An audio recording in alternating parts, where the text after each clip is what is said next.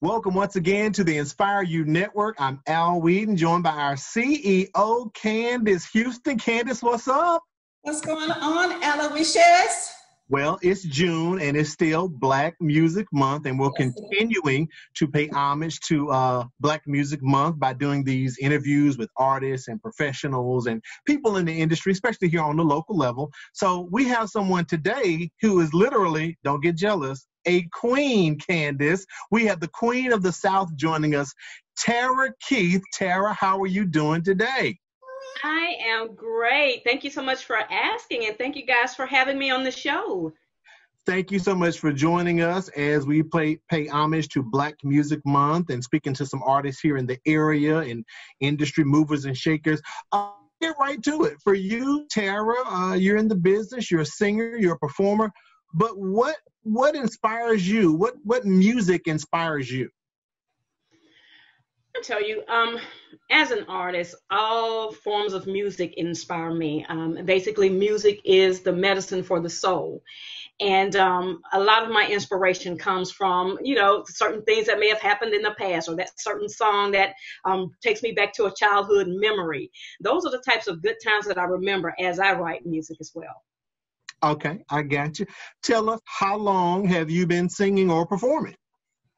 Okay, for um, I've been performing for about six years, but um, as a recording artist, I'm, I'm only four years in.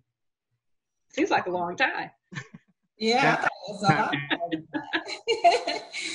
so let me ask you this. We want to talk about the evolution of music, and I know that you know we kind of talk, kind of gave you a little information on some questions we were going to ask, but I'm going to twist it a little bit because your genre is Southern Soul. And you know that Southern Soul is something that really just started getting hot in the industry and it derives mm-hmm. from blues. Is that correct? That is absolutely correct. Okay, so tell us about that evolution from blues to Southern Soul.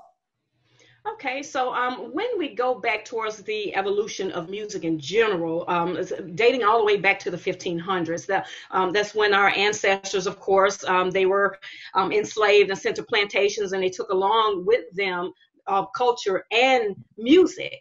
And so that's how a lot of the platform for the blues actually took place.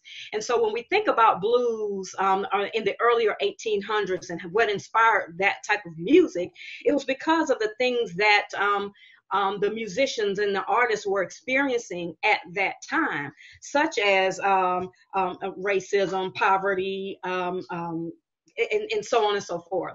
So that those types of experiences gave those artists during that time inspiration and escape to be creative in their writing.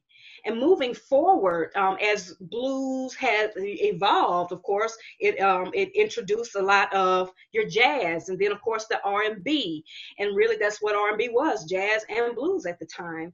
And then as music continued to evolve of course within r&b they're incorporated blues rock rap um, soul, and so on. And so that brings us to Southern Soul. So when you take a look at Southern Soul, we do not per se talk so much about my baby left me or the blues is gone, the thrill is gone so much.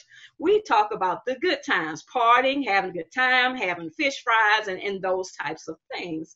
So, in my opinion, that's how that music has actually evolved. It's no more of a combination of blues as well as R&B when you think back of those R&B greats like your your Teena Marie's, your Earth, Winds and Fires, the Marvin Gaye's, they talked a little bit about what was going on then, but they also incorporated the great times and in, in, in, progression.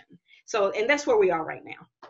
Okay, okay. And I did notice that as I listened to Southern Soul, because that's more of like your, your dance, you know, family reunion type music. And I really love Absolutely.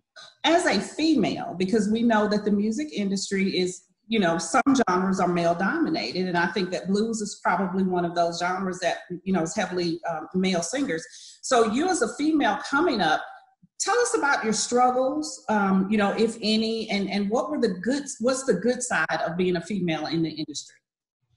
Well, I, I would, as you mentioned, um, most of who you will see at the blue shows are female, and they're coming there to see the male show. So you're right. This is a male-dominant um, um, type of an industry, mm-hmm. and it has been a challenge being a female because I don't, I don't think that female artists are given the same amount of respect as males do. So we have to work even harder to prove that hey, we're relevant in the business as well. But I would definitely say through my experience and my journeys through um, this experience, a lot of males has embraced me in the business and has worked in, with me and mentored uh, with me um, all along. And, and there were several times I said maybe I wanted to give up, but then they're like, no, don't you dare do that. You're on the right track. You keep doing what you're doing. It's going to come around eventually. But um, yes, if we could just get that respect and and and not be taken for granted, that would be awesome. Okay, okay. Now tell us about, I know that you do uh, several different events, uh, large uh, blues and Southern Soul events. So tell us about some of those that you're involved in. Okay, so um, I've had an opportunity for the uh, last several years to participate with um, um, the Spring Fling, uh, Blues on the Rivers, um, various weddings, party events, um, various, various shows around the city, in addition to traveling to um, New Orleans to participate in various events in, in Atlanta as well. And I've even gone to Centersville, Illinois to do a show. So it's been a fun journey for me. Right. And you do the cruise as well, right? Oh, and I did the cruise. I forgot about that. Yeah, yes. Had an opportunity. About. yes. Had a great opportunity to go on a Till One birthday cruise. You know, Till One's amazing artist. Um, he allowed me to, one an, another artist, a male artist that reached out to me um, to to help me along the way as well. So I was so honored to to be able to uh, participate with he and Jeff Floyd and and just enjoy the cruise. It was absolutely amazing. Okay. Sarah, right. let me uh, ask you something. Two one, you mentioned Jeff Floyd, uh, and you being a female singer genre. Who have been some influences on you to get you where you are at this point in your career right now? Now, from the um, blues industry, I would say very early on when I first started, there was um, Mo Stovall, um, Rob Williams, Big Row.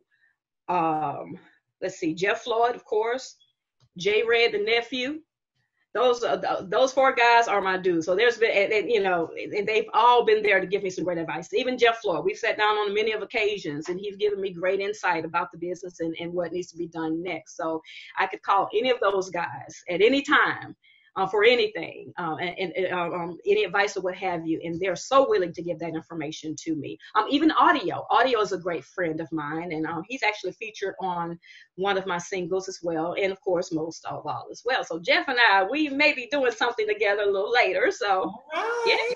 yeah, oh yeah, and I am working on a project with Jay Red as well. Okay, it's going to be coming soon. very good. Well, you know what kind of advice would you give to an artist, you know, male or female, that is coming up in the business, just from the things that you've seen? Because I know you and I have talked, even you know, prior to this, about some of the struggles and you know some of the obstacles that you have faced um, trying to come up in the industry. So, uh, talk to that artist who's who's really trying, who's serious about what they are uh, wanting to do. What would you say to them? I would definitely say um, do your research on the industry. There, there are amazing books that are out there. Um, please do your research um, as it relates to your, your, your branding, your behaviors, your activities before and during and after shows. You want to make certain that your brand is a brand of integrity. Um, be sure to do that. Do not sell your soul for anything. Uh, have integrity in all things that you do. Um, and don't rush the process. You have to trust the process. It, it's not an easy process. Um, it doesn't happen overnight. Um, I'm, I'm, a true witness to that. I'm, I'm, four years in as a recording artist, but um, but do it because of something that you love to do, not for something to get you rich quick, because that's not going to happen. Mm-hmm. Um, but it has to be a love for it.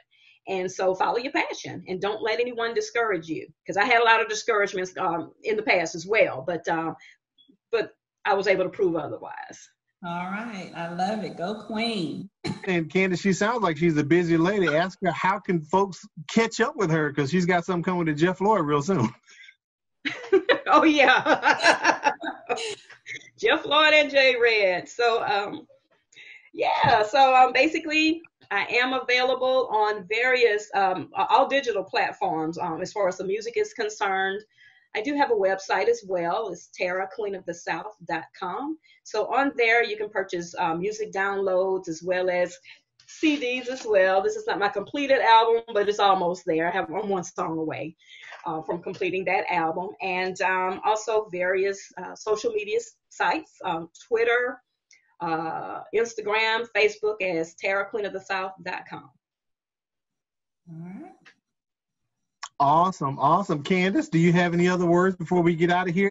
I just want to say, you know, that I am just, um, I'm just proud to know you. Um, you know, it's obvious that you are serious about your craft. It's obvious that you're not going to let anybody stop you or anything stop you. And again, I go back to some of the previous conversations that we had. So I know a little bit more than most people do, but um, I, I just think you're amazing. And I just wish you the best and continued success. Oh, thank you so much. And thank you guys again for having me on the show. It's definitely an honor. Absolutely. Well, we do appreciate you taking out time, and we want to remind everyone that as the month of June continues to roll on, we will have more interviews and insight into the music industry as we pay homage to Black Music Month. But most importantly, be safe, be healthy, please go get yourself registered. But more importantly, after you get registered, please go vote. But take like nine other people with you to go vote and make sure they vote as well. Right now, we're going to turn it over to the queen of the South, Tara Keith, and she blesses us with a performance here on the Nspire U Network. Thanks so much, and we'll see you next time.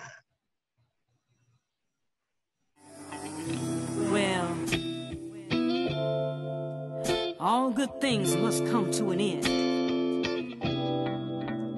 The man that I was with half of my life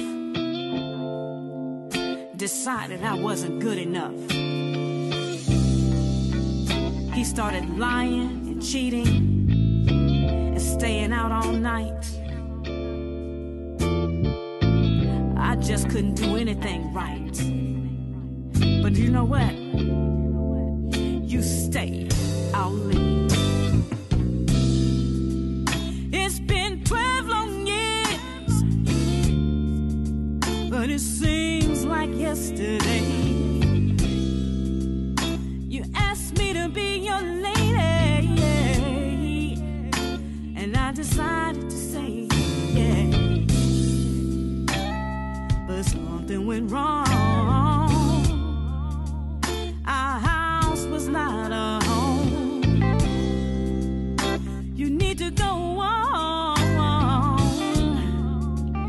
Baby, please.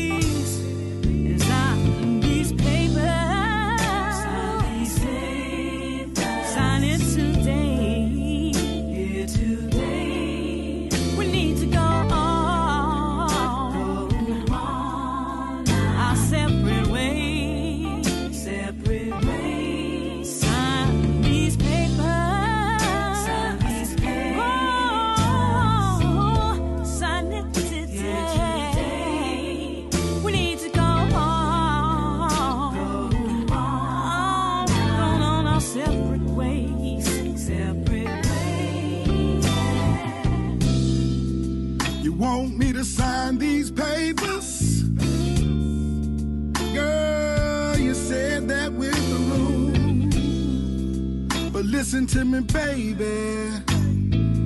See, I still